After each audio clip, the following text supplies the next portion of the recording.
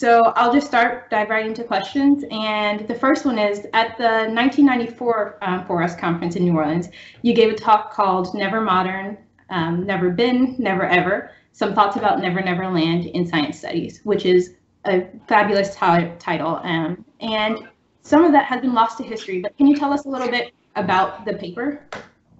Well, I tried to reconstruct the paper. I actually wrote that one, which is unusual for me but I think that the you know there were some demons of revenge because it's disappeared from all of my files. But I I do remember that it was a kind of engaged uh, friendship with Bruno Latour in particular, and his uh, very generative little book "We Have Never Been Modern," which I, as well as many other people, learned a great deal from. And Bruno had become both a friend and a colleague and a kind of a, not a frenemy exactly, but a, a person to tussle with.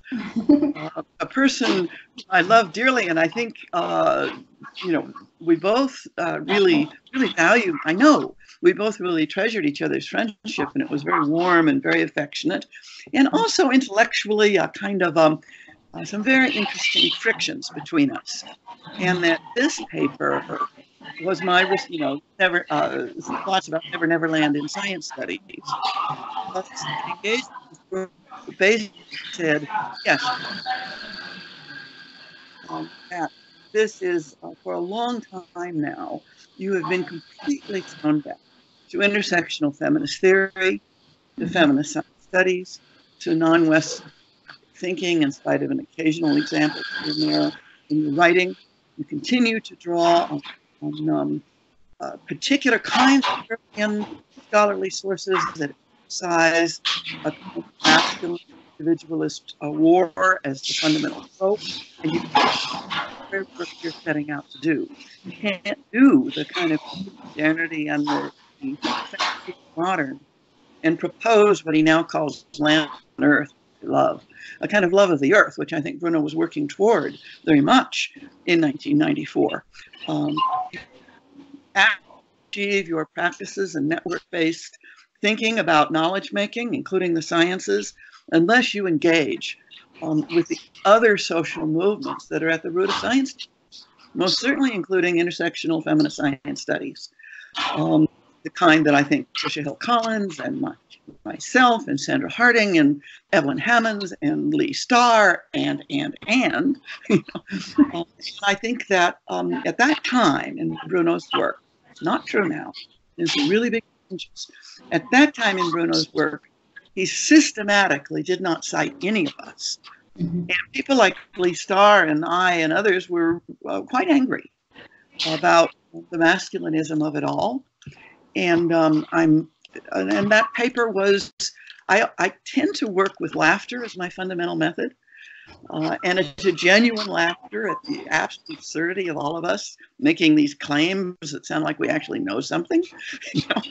um, uh, and, it, and the laughter is also a very serious method that tries without um, thinking that I myself or any of us are innocent of the very things we're criticizing um, a kind of an invitation to somehow um, join with each other in something better than what we've already done. And I think that the exploration of the uh, the vice grip of the fantasy of, um, being modern, uh, which which Bruno was an early thing. This is not turning in, into an English sentence. Bruno thought early and deep about, about that. But I really felt that his citation was um, indicated a kind of brain damage. if that makes sense. so you know, it, you know, I think Bruno took it in that kind of angry, friendly vein, which, uh, and we have remained very, if anything, ever deepening friends. Mm-hmm. But this has been a, a, a tussle for decades. This particular issue. Okay. Um, basically, uh, I wanted to ask you um, about your talk from that year, which was described as a star performance. Um, and when you really, you know, you took the STS world by storm. And did you think at the time that you were making a serious field disrupting intervention? Well, of course not. Uh, and I still find it um, hard to get my mind wrapped around uh, that. Although I, I do know now, and, and I knew a little bit then, that when I speak in public performance, there's a kind of charismatic um, performance that goes on that um, sweeps people into some kind of shared emotional and intellectual experience. Um, and I don't know exactly how it happens, but I think as we get older, we each kind of learn what our gifts and weaknesses are. And I, I knew that that um, I knew that that was how I worked even then, and um, I was happy to use it best I could. And uh, I thought and still that um, particular in that period, Adele Clarke and Leigh Star, um, and Evelyn Hammonds and me and Sandra Harding, I particularly in that period, and Lucy Suchman, my God, uh, that we were a we. In some profound sense, we were coming into a, a power that we had created for each other uh, and sustained for each other. And it's not that in some way we were in profound opposition to the men in our field. We weren't um, but that there was a kind of um, uh, intersectional feminist power going on that uh, I felt like several of us were performing by the mid 90s and bringing people with us. And so, one of the few terms that I will steal from the uh, software industry is disruption. Um, and part of what made that moment so um, important and so powerful and memorable is that it was a moment of disruption um, where you were able to challenge big ideas and um, that were widely accepted at the time um, and widely kind of championed and not questioned. Um, and so, what current mainstream or mainstream STS ideas should we be challenging right now? Well, I know. Uh, you know, I mean, that's a that's kind of consider Anna Tsing is my close friend, anthropologist. Uh, uh, mushrooms, mushrooms at the end of the world, a title to die for. Anyway, Anna and I were doing a joint gig recently, and we joked with you. You know a you know something about something, and you put it out there for a public, and then you get about other things nothing whatsoever about, and you have to pretend like you do. Uh, so I feel a little bit like a little bit like that. That said, and I have I have lots of opinions. Mm-hmm.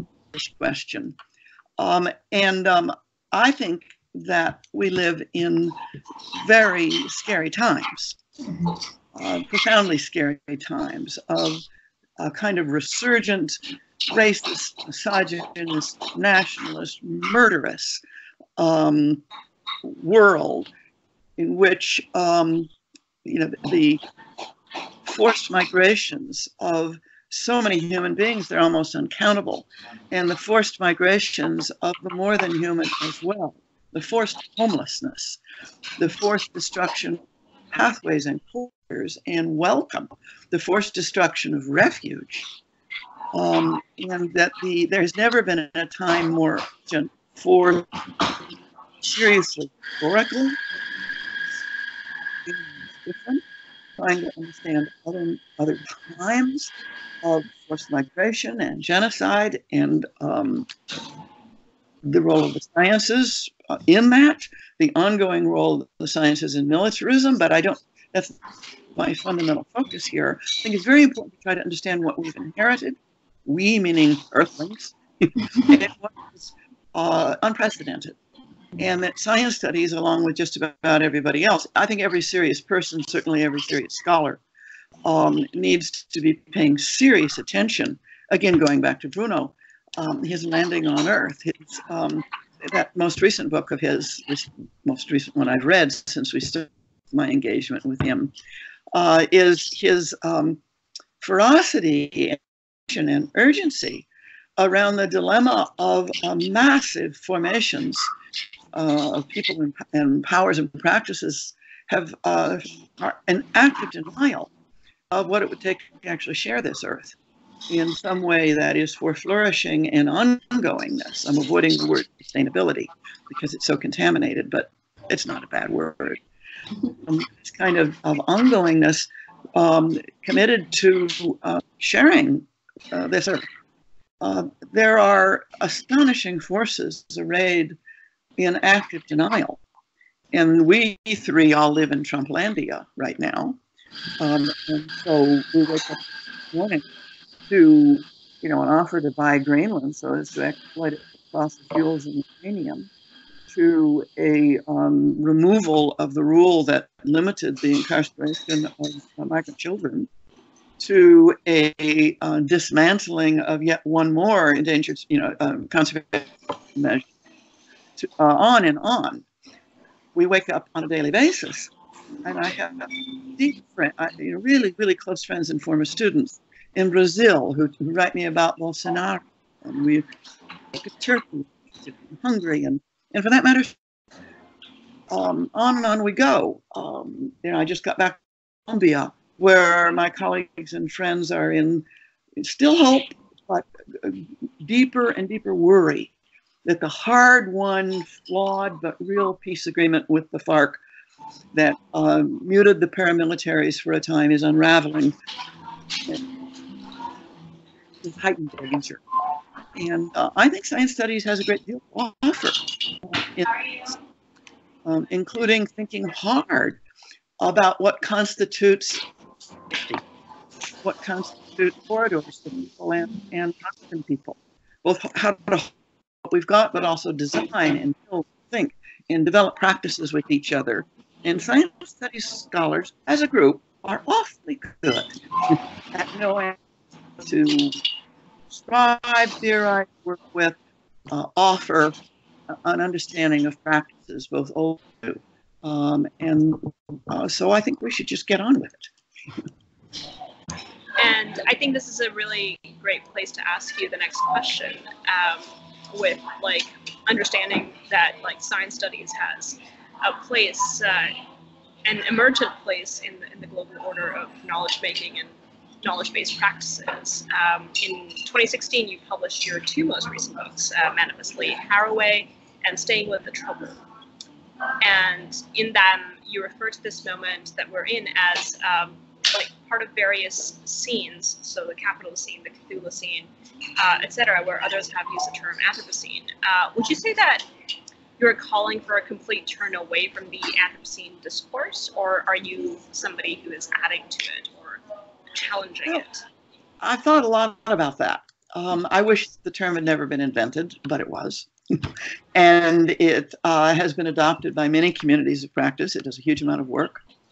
Um, there is I think it would be foolish to pretend that one that that um, a person situated such as I am could operate without that term. Um, and I'm always a both and kind of girl. I want the litter to get bigger rather than produce a kind of prohibition against something and kick it out of the litter. Um, and I'm interested in putting my out other ways of thinking of the dense time space we're in would kind of um, a thick present, not an instantaneous, a present of indefinite boundaries.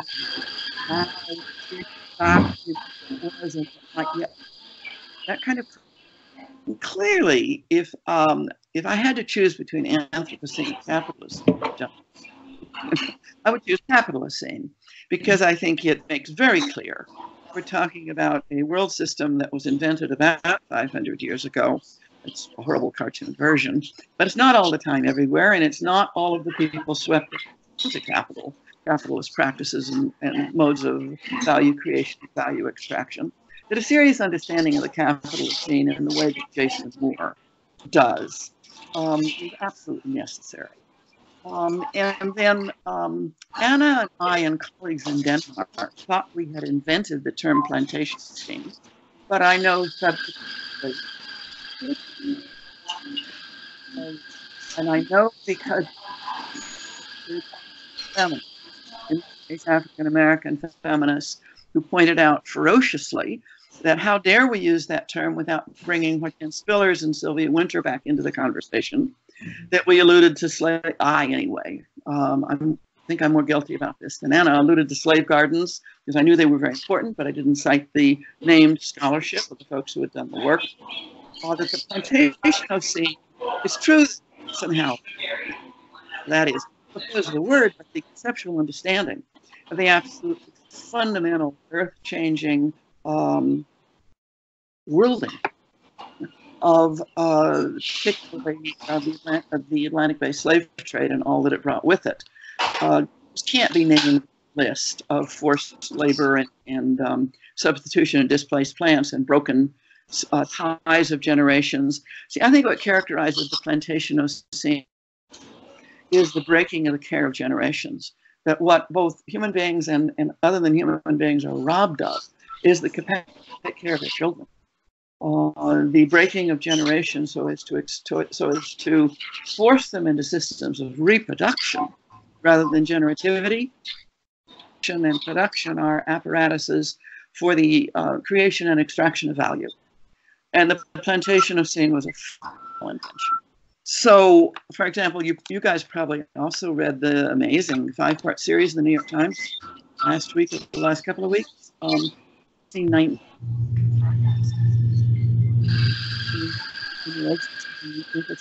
of hereditary forced African slavery into the English colonies.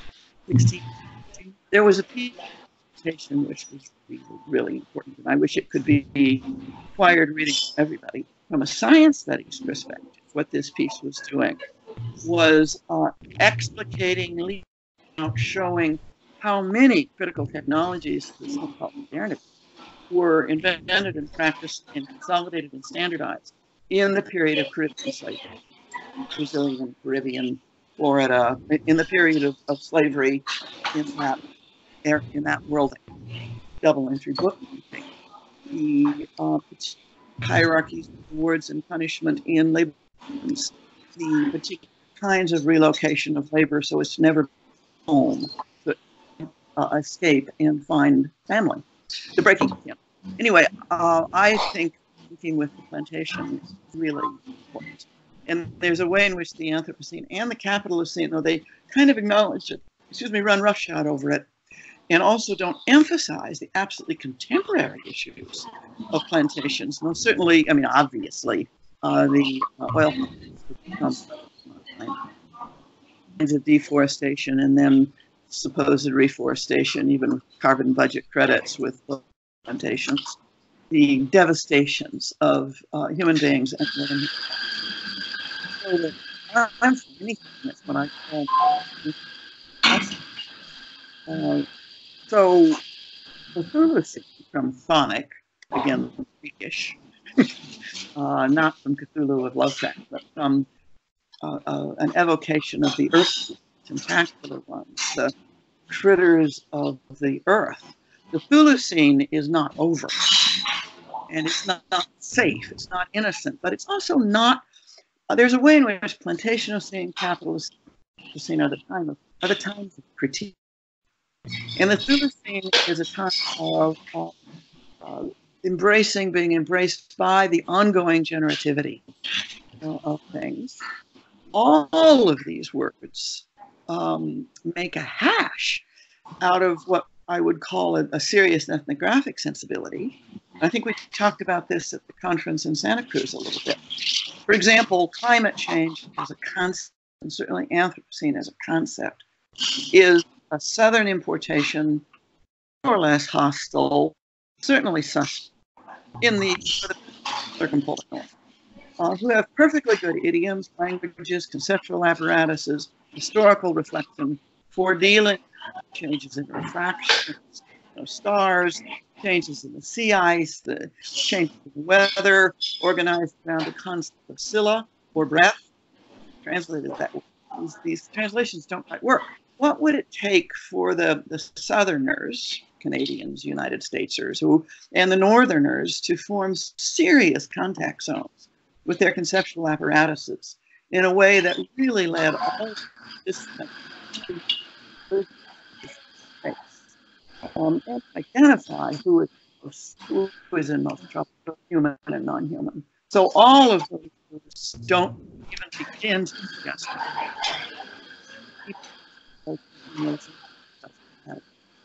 indigenous and and uh, and more than indigenous, indigenous. Okay. You guys have switched orientations. right. Yes, you have to. But you didn't actually switch because you're in different places. Oh, well, never mind. So I will be presenting up 4S for the first time this year, and um, 4S is also creating better, better avenues for undergraduate participants to um, present their work. And so, do you have any advice for us first timer, timers who may still be working out the kinks in our presentations? Oh, well, first of all, what are you presenting on? I was curious what your work is. Sure. Um, so um, I'm presenting on work that I did um, actually in my master's, which is a slightly different topic of what I'm working on now. Um, but the presentation is called um, Race, Modernity, and Hospitality, and it's a play on hospital and hospitality. And I studied um, international clinical volunteerism in Tanzania. Um, Oh, where? sorry? Where? Um, International hos- uh, Volunteers. oh, in, in Tanzania. in Tanzania. Mhm. Okay, really interesting. And uh, Aadita, you're you presenting this time too? Uh, yeah, but this is uh, uh, my actually uh, an early uh, dissertation draft, uh, early dissertation chapter draft, um, and it's going to be about modes of attention uh, and boundaries of ecosystems when it comes to wildfires. Uh, are you paying particular attention to wildfires in like Alaska, California, Indonesia? Where are you? Where are you? Um, I'm currently based out of Toronto, but I did much of my field work in California, Uh-huh. which is why I was in Santa Cruz. Um, Did you do any field work last summer? Uh, not last summer. I actually did all of my field work this year. Um, and uh, yeah, so I, I've been thinking about fires um, both in ecosystems, but uh, outside of ecosystems, and the discrepancy of attention uh, and the modes of attention through which they are filtered and uh, brought forth into the public imagination. And that's one of the things that I'm looking about, uh, thinking about, but also uh, modes of attention that is entrained um, when it comes to fire ecologists um, when they pay attention to the earth and That's yeah, yeah. sort of forensic ways that they reproduce fires. Yeah. Well, I don't exactly have any advice. It's more like um, my own experience was when I just leapt into what I really cared about and just did it. Um, it worked because I made it a point. Um, and if I didn't care, life is too short. Uh, and if it's too short, uh, that finding those points of, of uh, ongoingness, generativity with for each other, and forgetting about saying whether it's part of a master's or a dissertation or what have. Who cares? you know, rather to leap right into the stuff because that's what matters. Um, that uh, I'm really passionate about the, the the questions around hospitality that affect international volunteers in health type situations, particularly in East Africa, or uh, wildfires that have been burning across so much of the world, most certainly practically all of North America. That road from California to um, uh, Yellowstone and then down to Zion, or uh, not Zion, um, Grand Tetons. Uh, there wasn't a single minute and then remembering the history of firing this land, this land that I'm on right this exact minute, when the uh, uh, Amah Mutsun were, were doing controlled burns and the whole thing. Uh, fire. Um, I think of uh, Born in Flames too. That really film back from. Um, my mind is blanking on the name of the filmmaker, but you could you probably put it anyway. Born so my only advice is for you and perhaps everybody else is um, not to tell people where you are professionally, particularly unless they ask, or what this is part of or was part of. But the questions that interest me uh, in this in this situation are. And go, go for it. And um, this also uh, goes back a little bit to the Chthulucene question from before. Um, I, I take I continue to take seriously that little piece I wrote in both friendship and some friction with Sandra Parker. That situating what we know so as to be accountable and responsible. And, then another kind of little add-on is that actually the last book I wrote was the alliance with Adele Clarke and Michelle Murphy and Kim Tallbear and Ruha Benjamin and Chia-Ling, uh, Chia-Ling Wu and Yuling Wang. And I have this awful feeling I'm leaving someone out called Making Kin, Not Population, which grew out of a 4S presentation where collectively and from very, very different points of view and some real disagreement in our group, really important friction in our group, we felt that we just had to raise again outside, outside Malthusian parameters. Um, the question of human numbers, distribution, unequal extractions, that we, that we had to learn to do it in an anti-racist, a non-misogynist, non-Malthusian way, because if not us, then who? so I feel that way about a lot of our work. If not us, then who? If you're not going to do it, who will? Yeah, um, I guess in this in this context, uh, and this touches on pretty much everything we've talked about so far. Um, what do you see as the future of STS, uh, specifically feminist STS? And do you see it as contained in the academic world or going beyond it? Uh, and and how does this 4S conference and how can 4S as a society in general shape this future? well, it's never been contained by the academic world, but the academic world is a very important. Um, I, I, have never been one to diss scholarship and teaching and you know research and the space that uni universities make and the reclaiming of public universities and the holding them to account, especially uh, private, so-called private ones too, but which also are sub heavily subsidized, but that's another set of issues. Um, I feel that um, university-based scholarship and teaching and mentorship and camaraderie remain really important. And um, intersectional feminist science studies has never been uh, restricted to that space. Quite the opposite. It's always been highly permeable. And many of us um, have felt that our, our largest job was to make available the resources of the university to groups with fewer resources. Uh, not all of us feel that way, nor do we have to, but to be in connection with the kinds of, of um, knowledge making and action in other communities of practice, be they policy or uh, water defenders or um, you know international volunteers or that being in, in having a catchment site with other communities of practice really matters. And I think science studies as a whole has been pretty good at that. And I think feminist science in particular has been especially good at it. And, we'll and I have an origin story about science studies, not just feminist science studies. It's not the Edinburgh School and the whatever.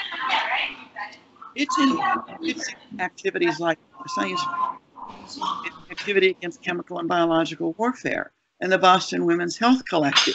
Those are my origins as a science scholar and that way predated uh, the official, you know, the, the really important scholarly work, for example, by Steve Shapin and, and other really, really wonderful men and scholars.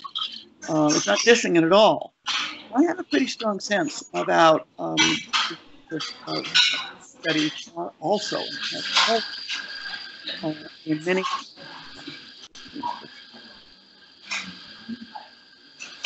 by the way, there's one other little piece of that. And that, that goes back to your question earlier about do I, as a 75 year old lady, have any advice? and that is um, hold on to your peers, the writing groups, the, the ways you mentor each other. Uh, hold on to your, your cohort. Uh, and those colleagueships and friendships, even if they get really quite difficult, don't let them uh, dissolve into antagonisms or indifference. Those kinds of um, sustenance in the next years is going to come from your cohort.